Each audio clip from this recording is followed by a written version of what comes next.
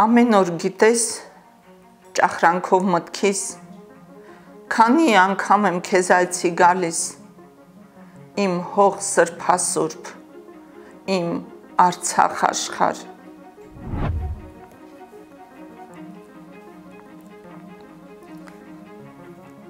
եւ Դավիթ Թումանյան խաղաց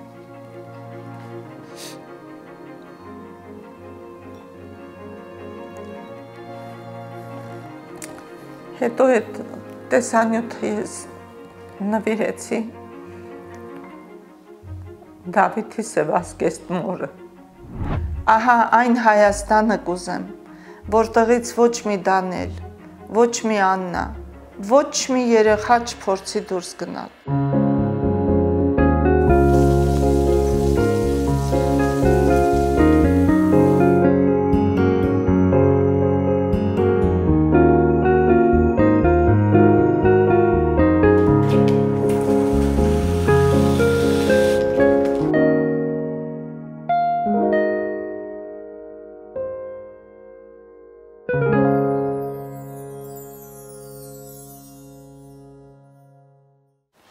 Բարև ձեզ հարգելի հետևորդներ, այսօրվա մեր հյուրը ուսուցչուհի գրող Ալվինա Շիրվանյանն է։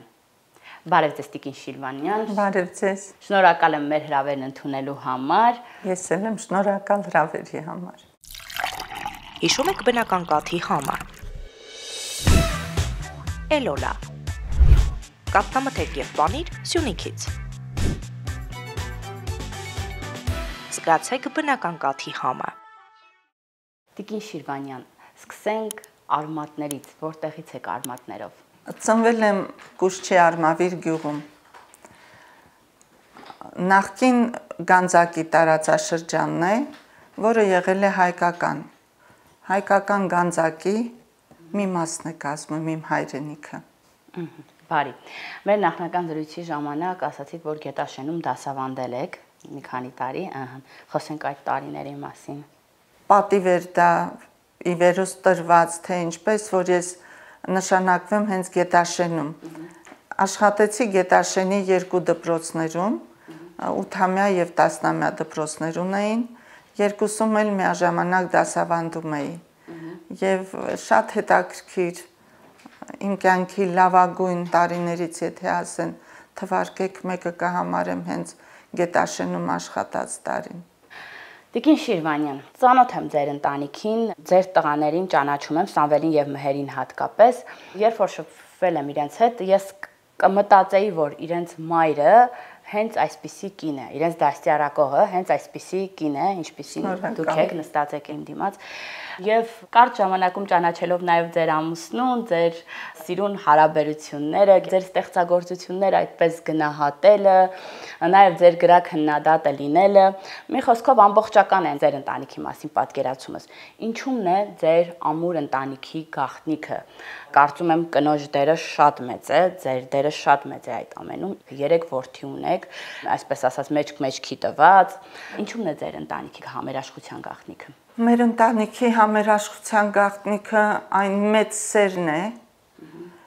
եւ այն մեծ հարգանքը, որը տածում ենք մեկս մյուսի հանդեպ։ Նախ իմ տղաներին եմ սովորեցրել, որ ընտանիքում կնոջ ու սերին շատ բեռ է, ծանր բեռ է ընկած։ Նրանք պիտի շատ բարձր գնահատեն եւ սիրեն իրենց կանանց եւ ոչ միայն ասել եմ, այլ Դրա վառ օրինակը իրենք ունեցել են հենց մեր ընտանիքում, մեր հարաբերություններում։ Իմ ամուսինը իմ կյանքի ամենամեծ հենարանն է։ Ես անչափ երջանիկ եմ, որ ունեմ ինձ հասկացող, ինձ գնահատող, ինձ արժևորող ամուսին։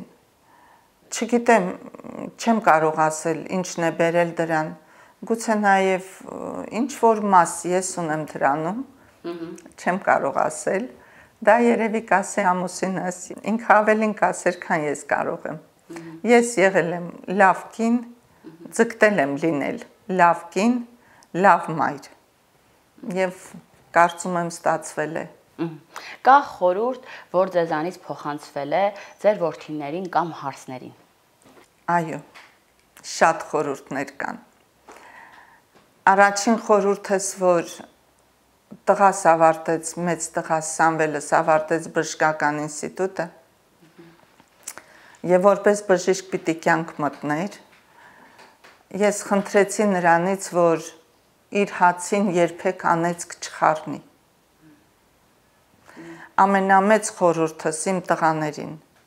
որ իրենց հացին անեցք չխառնեն։ Հարցներից տված ամենամեծ խորհուրդը այն է եղել, որ շատ ծանր մեծ բերի տակ եք մտել դուք կին դառնալով կնոջ ուսերին է ընտանիքի հոգսը դուք պիտի պատվով կրեք եւ լավ կին լինեք եւ լավ մայր իսկ ձեր ամուսինների համար նաեւ լինեք որպես սիրուհիներ որպեսի նրանք անընդհատ դեպի տուն ձգտեն Այդպես էլ կա։ Երեք հարցներս էլ անչափ երջանիկ են։ Երեք երեք ворթիներս էլ սիրով աշխատանքից հետո դեպի տուն, չգիտեմ։ Շատ բարի, շատ լավ է։ Մենք նաև բախտավոր հասարակություն ենք այնքանով, որ ձեր նման լավ կերպարը ուսուցչուհի է։ Մեր հասարակության կարևոր բաղադրիչն է ուսուցչի կերպարը, որովհետև լավ հասարակություն ունենալու համար պետք է ունենան կիրթ սերունդ։ Այո։ Դա դրված է մայրերի եւ ուսուցիչների, ես այդպես եմ կարծում, ուսերին։ Այո։ Մեծ առաքելություն եք կատարում, ովքեր են ձեր աշակերտները, ինչպես կբնութագրեք իրենց։ Երբ մտնում եմ դպրոցից ներս, մոռանում եմ ընտանիք, ամեն ինչ։ Իմը դառնում են իմ երեխաները, իմ աշակերտները։ Նույնիսկ անհարմար եմ զգում շատ խոսել դրա մասին, բայց սիրված ուսուցչուհի եմ։ Դա կարող եմ միայն ասել։ Այո, գիտենք։ Ահա, նույնիսկ շատ վաղուց ավարտած իմ երեխաները անընդհատ կապի մեջ են ինձ հետ։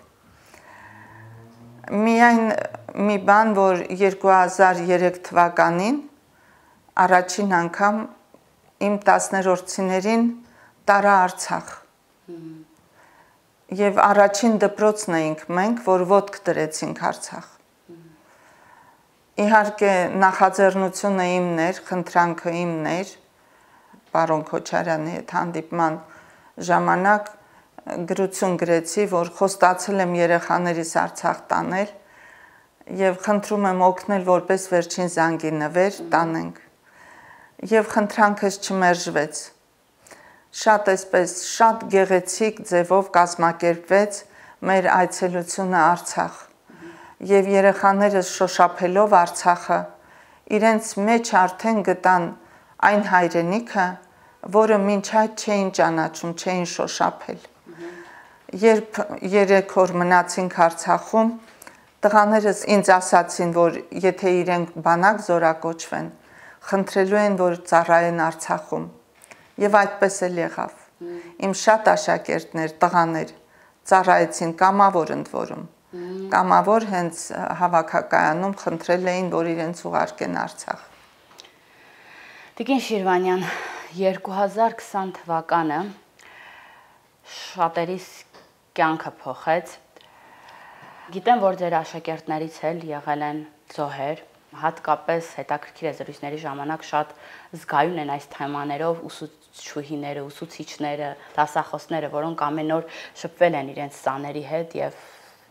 շատ ծանր են տանում այս ամենը։ Ինչ փոխվեց 20 թվականից հետո, ինչպես եք մտնում դասասենյակ, արդյոք ձեր ներսում բան է փոխվել, թեկուս կամ բաներ, որ այն ժամանակ ուրիշ կերպ էիք վերաբերվում, հետո արդեն այլ է ոչ միայն իմ ներսում, այլ մեր դպրոցի ամբողջ անձնակազմի տնորենից սկսած իդեպ ասեմ ունենք փառահեղ տնորենություն, որի ղեկավարությամբ շատ հաճույքով ենք աշխատում։ Ունենք մոտ 900 աշակերտ։ Գիտեք, բոլորի կյանքում է փոխվել շատ բան։ Այդ թվում նաև իմ մի դասարանից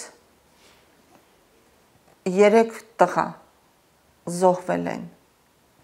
եւ ելի տարբեր դասարաններից։ Ունենք նաեւ անհայտ կորած երեխա, որ մինչեւ հիմա չեն գտել։ Դպրոցներն ու դպրոցամերձ տարածքները դարձան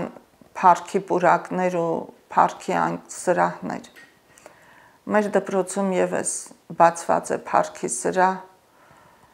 Դպրոցի բակում կանգնեցված խաչքար парքի պուրակում ինչը մեծ դաս է եկող բոլոր սերունդների համար, երեխաների համար։ Հայրենասիրության դաս ենք տալիս։ Ոչ միայն մենք, այլ հենց այդ նկարներից ճպտացող մեր տղաները շատ սիրում եմ միջոցառումներ դնել դպրոցում, երեխաները շատ գեղեցիկ միջոցառումներ են ունենում։ Որոշել էի դնել մեծ լորեցի։ Եվ Թումանյանի դերում փնտրում էի թե ում դնեմ։ Դավիթ ունեի։ Նայեցի ու ասացի Դավիթ, ամենալավ Թումանյանս դու ես լինելու տղաս։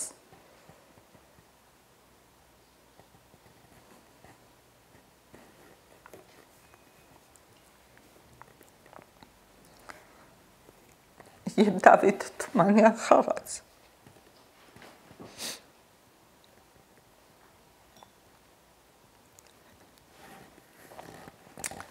Հետո այդ տեսանյութը ես նվիրեցի Դավիթի Սևասկեստ մորը, երբ բացում էր մեր парքի սրահը, հրավիրել էինք բոլորին եւ իդեպ այդ ժամանակ բոլորը իմ բանաստեղծություններն էին եւ այդ տեսանյութը նվիրեցի հենց Դավիթի մայրիկին Տիկին Շիրվանյան, այսպիսի խոսք կա, որը սխալ է կիրառվում, որ տղաները անիմաստ զոհվեցին։ Ես ուզում եմ դուք կարդակ ձեր գործերից մեկը հիմա Արցախը եւ այդ գործը նվիրենք ձեր աշակերտներին, եւ խոնարհումս նրանց հիշատակին թող լույս իշնի նրանց շիրիմների Արցախը նվիրենք նրանց նաեւ գիտակցելով որ տղաները անիմաստ չեն զոհվել տղաները պաշտպանելուց են եղել մեր հայրենիքը Արցախը Հայաստանը մեզ սիրով ամեն օր գիտես ճախրանքով մտքիս քանի անգամ եմ քեզ այցի գալիս իմ հող սրբասուրբ իմ Արցախ աշխար։ Ձերքս մեկնում եմ դեպի դադիվանք ու խնկում նրա ժայռերին սուր սայր, իսկ Ղազանչեցոց Սուրբ եկեղեցուն հրեշտակներին եմ կարգում պահապան։ Այան ու ապան շուրթերից անverջ քո հորովելն է հնչում դար անդադար եւ հավաստում է, որ ես եմ Տերը, ես միակ Տերը իմ հողի ու տան։ Կանգնում եմ անպարտ Արցախիս կողքին եւ դառնում խիզախ պաշտպանը նրա հավատում պայծառ նրա գալիքին եւ կրկին լցվում կարոտով անանց Գիտեք շատ հետաքրքիր է, երբ որ ձեր գործերը կարդում ենք ու եթե չիմանայի, որ հեղինակը կին է,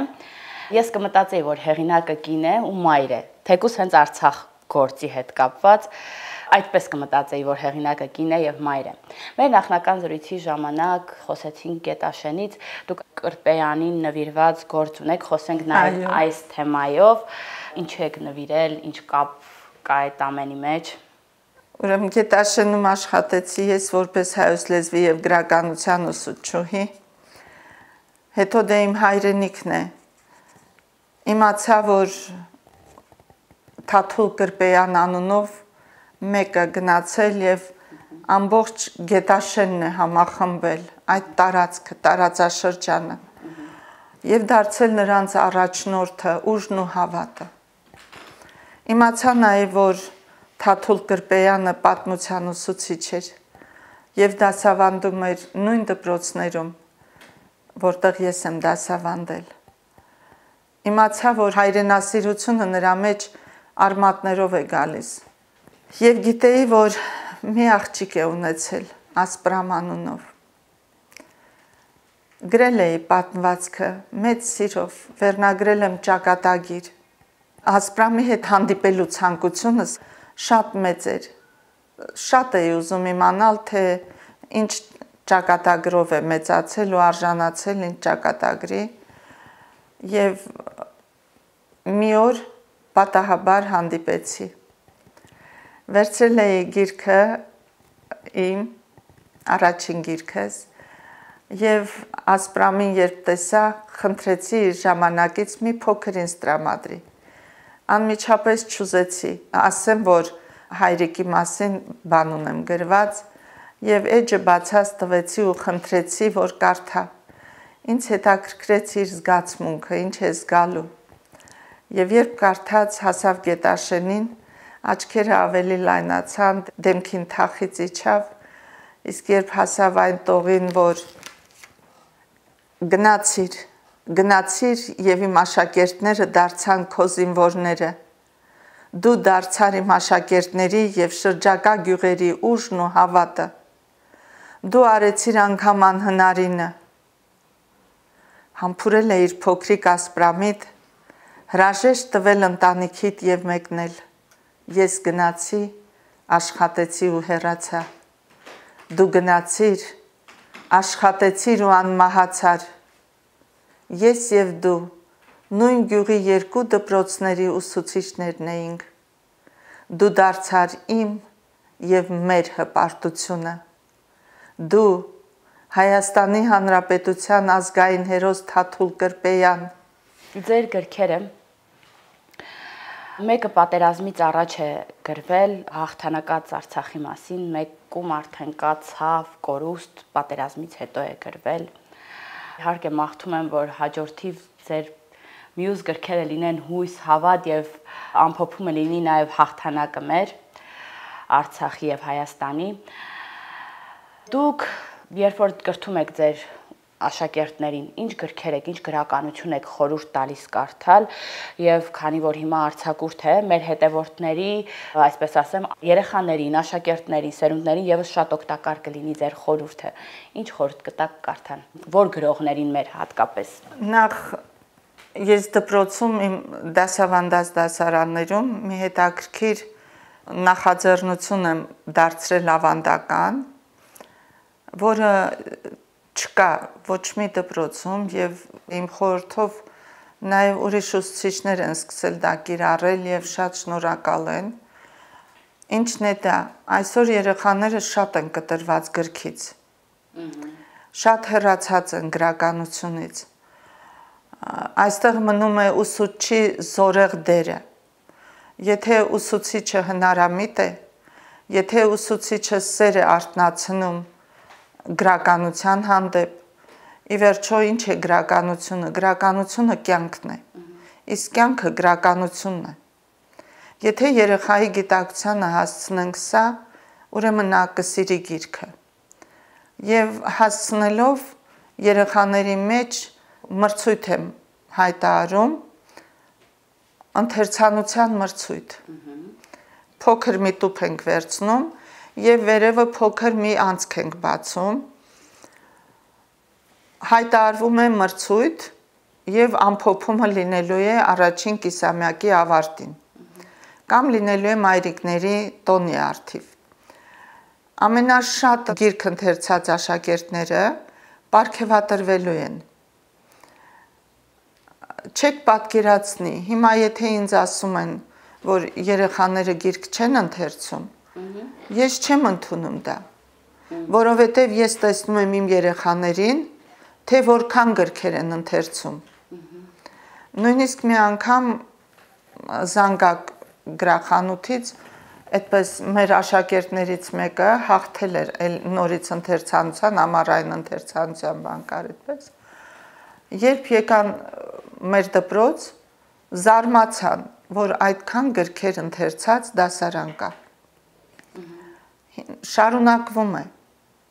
Նորից շարունակում ենք։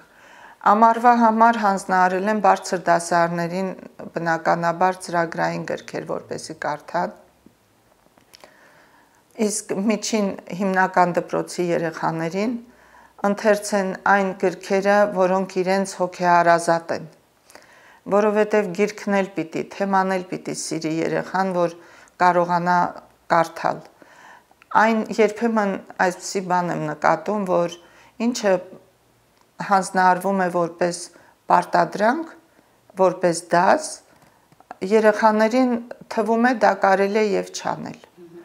Դրա համար ես ասում եմ, որն եք դուք սիրում։ Պարզապես ասում եմ, պատմվածք լինի Դավի, Պակ լինի, թե հեքիաթ, ինչ ժանրի մասին եմ տալիս, այսպես գաղափար եւ իրենք արդեն ընտրում են իրենց գրքերը։ Պատկերացրեք 5-րդ դասարանցին վեպեր է կարդում պատկերացրեք 6-րդ դասարանցին առակներ է սիրում դեռ պատմվածքներ է սիրում մեկը որսորդական մեկը արկածային թեմաները տարբեր են բայց այն որ բացում ենք ամեն անգամ ամփոփելու արդյունքները երբ արկղից դատարկում ենք սեղանի վրա եւ տնորեն եւ փոխտնորեն եւ դասղեկները եւ ուսուցիչները եւ ծնողները որովհետեւ դպրոցում մեր շատ ընդգրկում ենք ծնողական համայնքին, որ տեսնեն։ Գուցե դա է պատճառը, որ Գևորգ Չաուշի անվան թիվ 188 դպրոցը շատ մեծ վարկ ունի, այսպես վարկանիշը շատ բարձր է եւ շատ ծնողներ են մեզ մոտ բերում իրենց երեխաներին, մեզ են վստահում իրենց երեխաներին կրթելու եւ դաստիարակելու իրավունքը։ Տիկին Շիրվանյան, մեր հաղորդաշարը կոչվում է Հազարան բլբուլ հեքիաթի գաղափարն ենք դրել հաղորդաշարի հիմքում։ Հյուր ենք հravirում տարբեր ոլորտների մարդկանց, բիզնեսմեն, ուսուցիչ, դերասան կապ չունի, բոլոր այն մարդկանց, ովքեր իրենց ոլորտում կարևոր առանցքային լավ գործ են կատարում, որպեսզի հեքիաթի լեզվով ասած մեր հավքը նորից իդ գա եւ մեր այգին նորից կանաչի։ Ինչպիսին է Ալմինա Շիրվանյան գրողի ուսուցչի երազած հայրենիքը Հայաստանը։ Ոյ։ Իմ երազած Հայաստանը այն Հայաստանն է, որտեղ բոլորը կապրեն երջանիկ, որտեղ ոչ մեկը չի մտածի անգամ մեկ ժամով դուրս գնալու մասին որովհետև մենք ունենք ամեն ինչ մեր երկիրը օտարները համարում են թանգարան բաց երկնքի տակ չեմ կարծում որ մենք մեր թանգարանի բոլոր անկյունները վայելել ենք չեմ կարծում որ օտար հողը ավելի ուշ կարող է տալ քան հայրենի հողը գիտեք դասերին ես շատ-շատ եմ զրուցում իմ երեխաների հետ շատ-շատ որովհետև այսօր երեխան իրականում զրույցի շատ կարիք ունի։ Լսում են արտասահմանում ինչ որ մեկը ինչ որ մի բանի է հասել եւ սա գերում է նրանց։ Հասկանում եմ երեխաներ են, բայց երբ դուրս գնացած եւ նորից հետ վերադարձած մեր երեխաներն են խոսում։ Իդեպ այսել քանի անգամ ունեցել եմ նման առիթը լսելու իմ երեխաներին Եվ հետաքրքիր է, որ երկուսն էլ նույն բառն են ինձ ասել։ Ասեմ, ինչպես էր այնտեղ ու այստեղ։ Մի տղա ունեի, ասում էր ընկեր Շիրվանյան։ Այնտեղ ոչ մի ջերմություն, ոչ մի բան չկա, ասեմ ինչ են, անջիգար են։ Եվ այս տարի նույն բառը, անջիգար բառը լսեցի նաև իմ Աննայից ովքեր գնացել էին Ռուսաստան ծնողները եւ Աննայիս էլ էին տարել եւ բերեցին վերջին զանգին միացավ մեզ 9-րդ ավարտական դասարան ունեմ միացավ մեզ իմ եւ իր երջանկությանը չափ չկար երեխաները ցնծության մեջ էին եւ նորից լսեցի. Նույն բառը անջիգար են ընկեր Շիրվանյան ոչ մի ջերմություն ես չեմ զգացել ոչ մեկից ահա այն Հայաստանը կուզեմ, որտեղից ոչ մի Դանել, ոչ մի Աննա, ոչ մի երեխա չփորձի դուրս գնալ։ Իմ երեխաները երեքն էլ մնացել են, ինչ ունեմ այստեղ են, Հայաստանում։ Ես չեմ պատկերացնում, ինչպես կարելի է օտար օթը շնչել, օտար հողի վրա ապրել։ Ինչը կարող է ավելին արժենալ, քան քո հարազատի բարի լույսը, քան քո փռած սեղանի շուրջ քո հարազատների զրույցը ջերմ, քան չգիտեմ, քան հայկական ծիրանը ասենք, հայկական աշունը, հայկական գարունը, հայկական ամառը, ինչը կարող է փոխարինել մեր երկրին, Ոչ մեկը։ Տիկին Շիրվանյանի երազած Հայաստանը այնպիսին է, որ տեղից չեն կարտագաղթի եւ շատ կարեւոր է այս կոչը, այս խորուրդը, այս խրատը հատկապես այս պահին, երբ որ մեր հայրենիքը գտնվում է վիրավոր վիճակում, մեր հայրենիքը վիրավոր է։ Շնորհակալ եմ Տիկին Շիրվանյան, շատ հաճելի նաեւ էմոցիոնալ զրույց էր։ Ես էլ եմ շնորհակալ, անչափ շնորհակալ եմ, որ կարողացա զգացմունքներից մի մասը գոնե Երևան հանել։ Գրոհ է։ Կայունություն եւ կոմֆորտ մեկ սրահում։ Դավիթ անհախտ 9։ Սրահը ներկայացնում է United Technical Service ընկերությունը։